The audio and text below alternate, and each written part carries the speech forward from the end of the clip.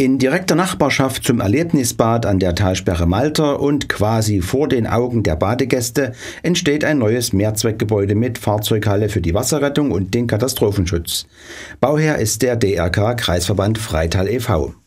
Ja, wir mussten äh, für die Wasserwacht ein Neubaugebäude setzen, weil wir im Rettungsdienstbereichsplan verankert sind mit einer SEG Wasserrettung. Das heißt, einer Schnelleinsatzgruppe, die im Alarmfall innerhalb von einer halben Stunde am Einsatzort sein muss. Und da wir im benachbarten IAT äh, keine weitere Erweiterungsmöglichkeit hatten für Garagen, mussten wir in der Nähe unseres IAT eine Halle bauen, damit wir sozusagen schnell unsere Ausrüstung verstauen können und entsprechend laden, weil jeder Einsatz verlangt eine andere Ausrüstung und die wird speziell in dem Fall dann auch aufs Auto verbracht.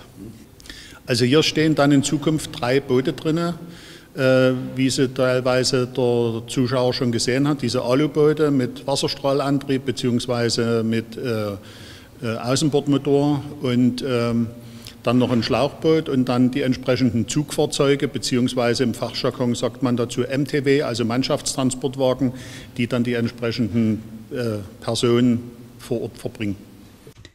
Für die Ehrenamtler der Wasserwacht Ortsgruppe Paulsdorf wird es sicher ein Quantensprung werden, denn bisher waren sie in einer schon sehr alten Holzbaracke untergebracht. Ja, die äh, Bedingungen der Wasserwacht Paulsdorf in ihrer alten Holzhütte, die liebevoll Wawahü genannt wurde, ähm, waren überhaupt nicht mehr zumutbar. Es waren Sicherheitsmängel, Elektrik, äh, Wärmedämmung. Es war höchste Zeit und so konnten wir mit dem Gebäude äh, dies gleich verbinden. Wir haben sozusagen einen Flachbau mit integriert, der als Zweckbau für die Wasserwacht Paulsdorf dient und äh, alles beinhaltet, was so eine ehrenamtliche Vereinigung braucht. Das heißt Schulungsraum für Aus- und Weiterbildung, kleines Büro, kleine Küche, Umkleideräume und Duschen, Toiletten. Äh, damit ist alles untergebracht und die Wasserwacht Paulsdorf ist jetzt in der Lage, sozusagen ihre Vereinsarbeit in entsprechender Qualität zu leisten, die bisher auch schon erfolgt ist, aber natürlich unter besseren Bedingungen.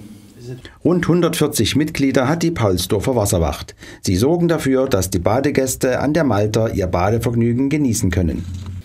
Der Aufwand ist äh, immens, weil alle Ehrenamtlichen, die sich verpflichten, an der Malter Dienst zu tun, müssen bestimmte Prüfungen und Ausbildung absolvieren, um das überhaupt machen zu dürfen.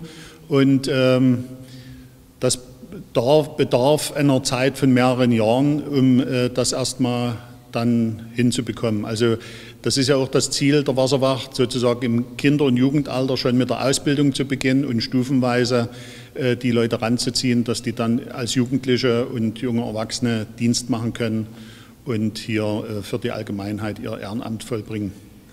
Unter den neuen Bedingungen wird der Dienst in der Wasserwacht sicher attraktiver gestaltet werden können. Rund 750.000 Euro wird der neue Komplex an der Malta kosten und zum Jahresende könnte Einzug gefeiert werden, wenn alles klappt.